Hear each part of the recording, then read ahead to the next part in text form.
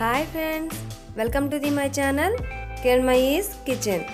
మీ అందరికి ఒక చిన్న రిక్వెస్ట్ మొదటిసారిగా నా ఛానల్ చూస్తున్నట్లయితే ప్లీజ్ సబ్స్క్రైబ్ చేసుకోండి. ఈ వీడియో కనుక నచ్చినట్లయితే లైక్ చేయండి మీ ఫ్రెండ్స్ అండ్ ఫ్యామిలీ షేర్ చేయండి. ఈ వీడియో పైన అభిప్రాయం తెలపాలంటే కింద కామెంట్ ఈరోజు మనం శాండ్విచ్లో అప్లై చేసే గ్రీన్ చట్నీ రెడ్ చట్నీని ఎలా తయారు చేయాలో నేర్చుకుందాం. ముందుగా గ్రీన్ చట్నీ కోసం కావాల్సిన పదార్థాలు. కొత్తిమీర అరకట్ట పుదీనా పావు కట్ట పచ్చిమిర్చి నిమ్మకాయ ఒకటి పచ్చిమిర్చి రెండు లేక మూడు జీలకర్ర ఒక టేబుల్ స్పూను వెల్లుల్లి రెబ్బలు నాలుగు లేక ఐదు సాల్ట్. అయితే ఇంకా తయారీ విధానం. ఒక మిక్సీ జార్ తీసుకొని అందులోకి వెల్లుల్లి ఉప్పు జీలకర్ర మొత్తం కలిపి ఒకేసారి వేసేసాను.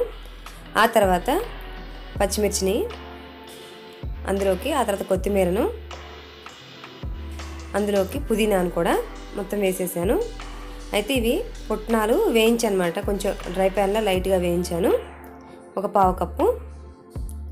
ఇవన్నీ కొంచెం కచ్చపచ్చగా మిక్సీ వేసాక కొంచెం వాటర్ యాడ్ చేసుకొని కొంచెం నిమ్మరసాన్ని పిండుకొని మెత్తగా పేస్ట్ చేసుకొని ఒక సర్వింగ్ బౌల్ తీసుకొని సర్వ్ చేయటమే. అంతే. ఎంతో ఈజీగా గ్రీన్ చట్నీ రెడీ అయిపోయింది.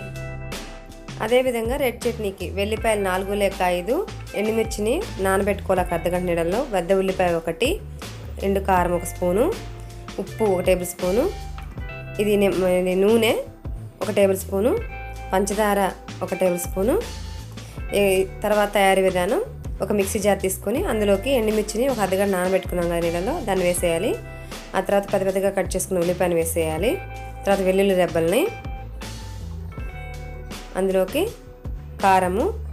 ఇది వద్దనుకుంటే కనుక రెడ్ చిల్లీ ఫ్లేక్స్ అయినా వేసుకోవచ్చు. తర్వాత నూనె. ఆ తర్వాత సా షుగరు. సాల్ట్. ఇవన్నీ యాడ్ చేసి మిక్సీ వేయాలి మొత్తం. మొత్తం మిక్సీ వేసిన తర్వాత ఒక మెత్తటి పేస్ట్ రెడీ అయిపోతుంది. ఒక సర్వింగ్ బౌల్ తీసుకొని సర్వ్ చేసుకోవడమే. అంతే. ఎంతో ఈజీగా రెడ్ చట్నీ రెడీ అయిపోయింది. ఈ విధంగా రెడ్ చట్నీని గ్రీన్ చట్నీని రెండింటిని తయారు చేసుకుని ఇంట్లోనే తయారు చేసుకొని శాండ్విచ్ని ఇంట్లోనే మనం ఎటువంటి సాసులు అప్లై చేయకుండా వీటిని అప్లై చేసుకొని ఎంజాయ్ చేయొచ్చు. ఈ వీడియో నచ్చితే లైక్ చేయండి షేర్ చేయండి. Thanks for watching